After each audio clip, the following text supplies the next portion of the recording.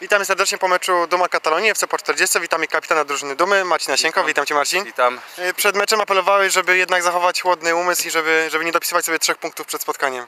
No dokładnie tak, w sumie obawialiśmy się troszeczkę tego rywala, bo to najgorzej się gra z przeciwnikiem teoretycznie słabszym. Można się niechcący przejechać i, i stracić głupie trzy punkty, no ale mecz się na szczęście ułożył, także pewna wygrana. Y, W lidze C3 wszyscy mówią o Mazatak, wszyscy mówią o Geozenit i wszyscy mówią o Bojak- Bojakowiance. Zapominają chyba o Dumie Katalonii, prawda? I bardzo dobrze, także takim jesteśmy cichym faworytem, będziemy sobie grać swoje, ważne, żeby ta gra nas cieszyła. Natomiast jak wyjdzie, to wyjdzie. Najbliższy mecz z Bojakowianką myślę, że wszystko, wszystko rozwiąże. A jak jest z formą? Czy ona już jest na takim wysokim poziomie, czy jeszcze szukacie zgrania? Znaczy widać, że coraz lepiej już nam się zgrywa, coraz lepiej się gra. Ważne, że ta piłka nas cieszy, e, fajnie się między sobą rozumiemy, nie ma kłótni, także jest, jest dobra atmosfera, to jest najważniejsze. Dzisiaj zabrakło Twojej towarzyszki i dzieciaków. Czy pogoda odstraszyła?